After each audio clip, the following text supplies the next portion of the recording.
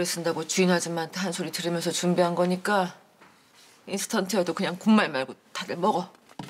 당신이 웬일이야? 처형 집 들어가서 한 이후로다가 당신 손으로 직접 차린 밥상을 받아본 적이 없는데. 먹기 싫으면 말고. 아이고 아이고 아이고. 아 누가 먹기 싫다고 그랬나?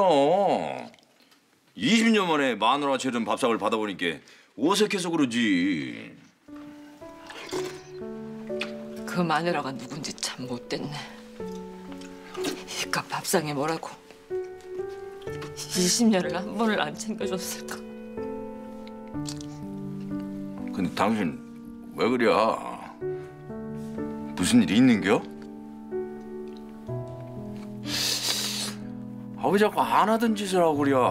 사람 불안하게 시리. 잔말 말고 빨리 한술 뜨고 출근하라고. 넌 지금 뭐 하는 거야? 왜 밥을 안 먹어? 어서 어서 한술 떠 빨리. 너 입맛 없다고 굶지 말고 뭐래도 이거 꼭 한술씩 뜨는 거야. 알았어? 엄마. 아우 나 정말 미치겠네 정말 왜 밥상 머리에서 밥을 안 먹고 엉뚱한 짓이야 빨리 밥 먹으라고 아니 당신 진짜 이상하네. 어디 멀리라도 떠나갈 사람처럼 아, 왜? 그-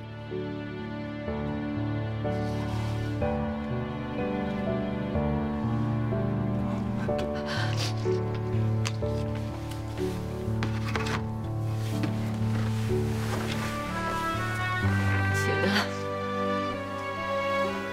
지은아 엄마 괜찮아.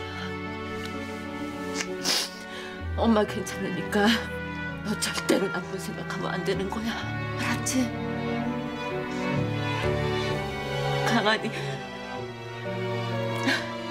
아니, 수정이 말대로 해. 어?